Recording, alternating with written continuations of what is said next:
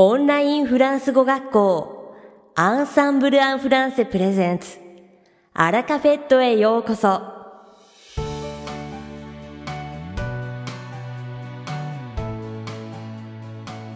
Bonjour à tous, c'est Rudy, professeur chez Ensemble en français. Minasan, konnichiwa, Ensemble en français, France go koshi no Rudy desu. Comment est-ce que vous vous portez Ikaga osugoshi desho ka J'espère que vous n'avez pas été trop malade à cause de la vague de froid qu'il y a eu au Japon.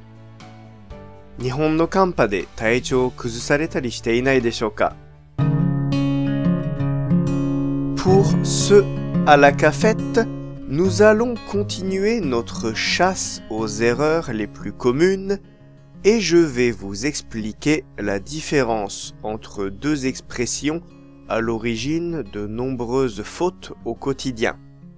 今回のアラカフェットでは前回の僕のアラカフェット第454回に引き続きよくある間違い探しを続けて日常生活の中で多くの間違いの原因となる2つの表現の違いについて解説していきたいと思います。Aujourd'hui, nous allons parler de la différence entre l'obligation et le besoin. 今日は義務と必要性の違いについてお話しします。La raison pour laquelle j'ai choisi ce thème est que beaucoup d'étudiants utilisent l'expression du besoin pour exprimer une obligation. Nous allons donc voir ensemble comment éviter cela. このテーマを選んだ理由は、多くの生徒が必要性の表現を使って 義務を表現しているからです。では、どうすれば回避できるのか見ていきましょう。さて、本日のアラカフェットは2部構成でお届けします。第1部は私、ルディがお届けするフランス語レッスンです。会話ですぐ使える短く簡単で覚えやすいフランス語の表現をご紹介します。そして第2部は先日デビューされたアーティス先生をご紹介します。Allez, c'est parti pour la leçon. さて、早速レッスンを始めましょう。Rappelons d'abord comment exprimer l'obligation. まずは義務の表現方法を復習しましょう。Pour l'obligation, vous avez deux options principales. Devoir et falloir.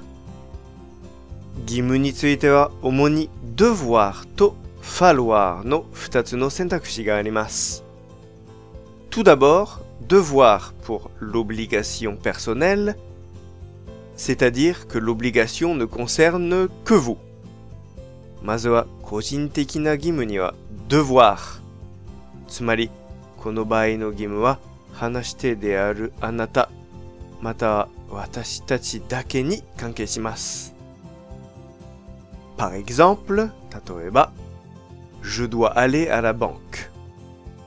Je dois aller à la banque. Je dois aller à la banque. Ginko ni. Dans cette situation, l'obligation d'aller à la banque est personnelle. Elle ne concerne que vous. この場合、銀行に行く義務は個人的なものであり、あなただけに関係することです。Si vous voulez parler d'une obligation qui concerne tout le monde, on utilise alors falloir. もし、すべての人に関わる義務について話したいのであれば、falloir を使用します。Par exemple, 例えば、il faut manger des légumes pour la santé. Il faut manger des légumes pour la santé. Il faut manger des légumes pour la santé.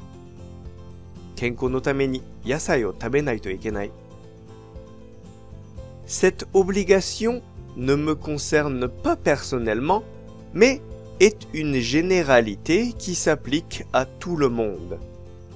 この義務は私個人には関係なく、誰にでも当てはまる一般論です。D'un autre côté, nous avons l'expression avoir besoin de. 一方、avoir besoin de という表現があります。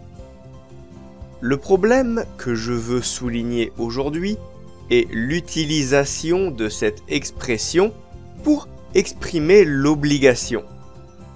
J'entends par exemple des phrases comme j'ai besoin de travailler ce week-end. Mais cela n'est pas tout à fait correct. 今日私が取り上げたい問題は、この表現が義務を表すことに使われていることです。 例えば、j'ai besoin de travailler ce week-end。今週末は仕事をしなければならないというようなフレーズを耳にすることがあります。しかし、これは完璧に正しいとは言えないです。Il est vrai qu'en anglais, I need to est souvent utilisé pour l'obligation. On entend souvent I need to work pour dire par exemple 仕事をしなければならない。確かに英語では義務に対して I need to がよく使われます。よく仕事をしなければならないというのを I need to work と言いますね。Cependant, en français, avoir besoin de exprime uniquement la nécessité, la dépendance à quelque chose ou quelqu'un. しかし、フランス語の avoir besoin de は何かや誰かへの依存や必要性を表すだけです。En français, si vous dites j'ai besoin de travailler ce week-end, cela veut dire que pour vous, travailler ce week-end est par exemple une condition économique ou mentale pour le bon déroulement de votre vie. Cela souligne donc la nécessité et non l'obligation. France j'ai besoin de travailler ce week-end 週末に働く必要があると言えば、あなたにとって週末に働くことが、例えばあなたの生活の経済的、精神的な条件であることを意味します。そのため、義務ではなく必要性を強調しています。Vous pouvez par exemple dire 例えばこのように言えます。J'ai besoin de travailler ce week-end car je n'ai pas assez d'argent.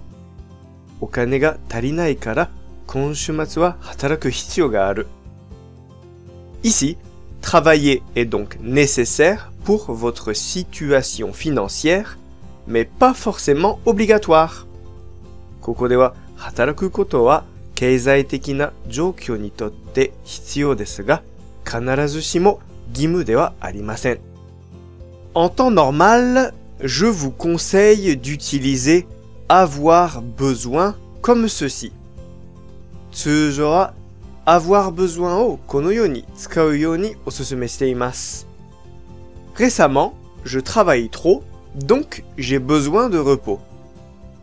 Récemment, je travaille trop, donc j'ai besoin de repos. Récemment, je travaille trop, donc j'ai besoin de repos.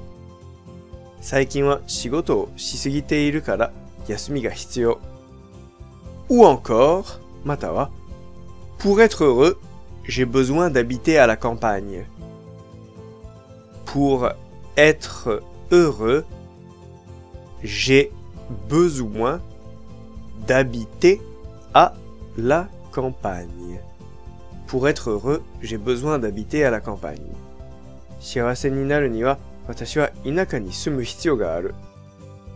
Vous comprenez Dans ces deux derniers exemples, le repos et le fait d'habiter à la campagne sont des conditions nécessaires et non des obligations. Wakarimashita ka 校舎の2つの例では、休息と田舎暮らしは必要条件であって、義 務ではないのです。Voilà tout pour aujourd'hui! それでは今日はここまでです。いかがでしたか？今回のようにしておくと役に立つフランス語の一言はアンサンブルで配信しているメールマガジン無料メールレッスンでたくさん紹介されています。ご興味がある方はぜひアンサンブランフランセのホームページから無料メールレッスンにご登録くださいね。それではまた、ありがとう。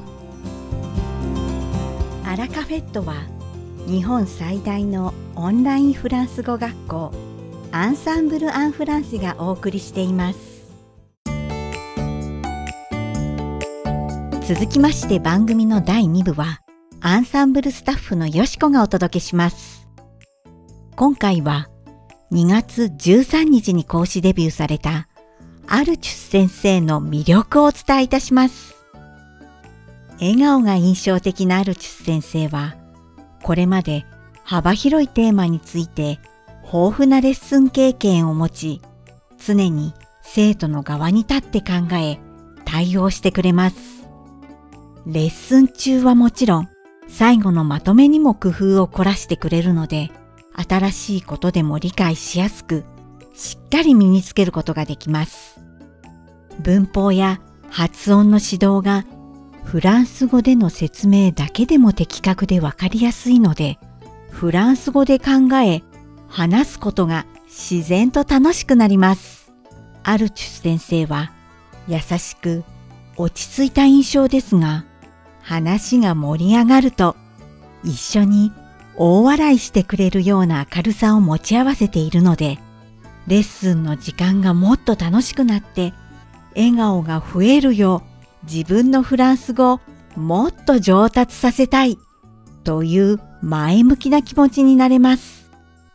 様々なレベルとニーズに対応できるので、入門者から上級者まで多くの方におすすめできる講師です。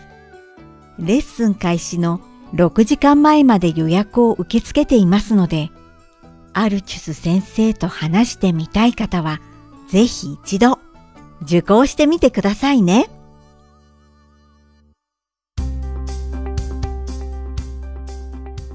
さて、本日のアラカフェットはいかがでしたでしょうか？